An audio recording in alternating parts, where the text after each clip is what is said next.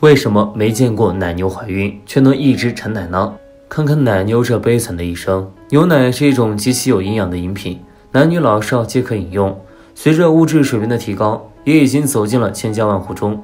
我们都知道牛奶是从奶牛那挤来的，但是似乎很少能见到过奶牛怀孕。难道它不需要怀孕就可以有奶吗？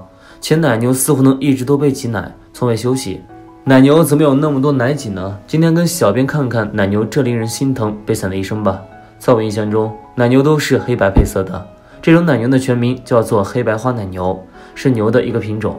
它并非是我国土生土长的牛，而是早在两千多年前从荷兰引进来的，并经过层层的人工选育方式改良出了我们今天常见的奶牛，也就是荷斯坦牛。荷斯坦牛的体型大，产乳量高，是专门产乳的好苗子。因此得到了各地的养殖户的喜欢，我们国家也将其引进，但并没有直接使用，而是将荷斯坦牛跟我们国家的黄牛进行杂交培育，获得中国荷斯坦牛。它能够更好地适应我国的环境，且黑色的斑块也更大。现如今我国养殖的奶牛中有百分之八十五的数量是中国荷斯坦牛。别看奶牛呆呆傻傻、十分可爱的样子，但它们的一生过得却很悲惨。这些母奶牛在二十三个月大的时候。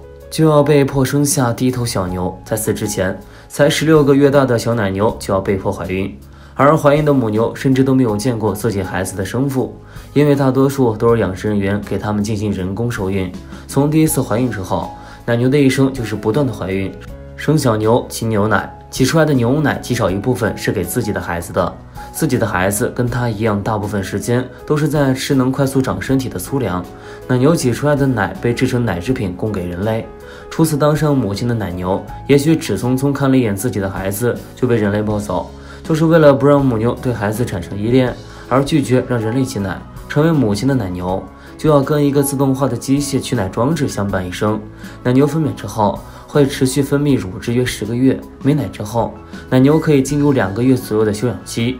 在这两个月里，养殖人员会给它些有营养的饲料，对身体进行调养。到时间后，就会将之前的步骤再重复一遍，再源源不断的给人类提供营养。一头奶牛的一生需要经过七八次这样的轮回，直到奶牛进入了中年期，此时它的身体已经精疲力尽，不能再产奶了，失去了它存在的价值。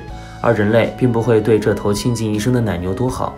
在养殖人员的眼里，它就是一头光吃饲料、不会再产生经济价值的拖油瓶。在造成更大的经济损失之前，就将这些老去的奶牛卖掉，变成低级牛肉出售。纵观奶牛这一生，几乎都在被人类剥削。只有在它没有怀孕之前，拥有过短暂的快乐和自由。在世间，做母亲原本是一件幸福的事情，但这却是奶牛不幸的开端。那公奶牛就会逃脱这悲惨的一生了吗？并不是。公奶牛会被作为经济肉类进行培养，在最年轻力壮的时候被宰杀，送上人们的餐桌。所以看到了奶牛这悲惨的一生，你们作何感想呢？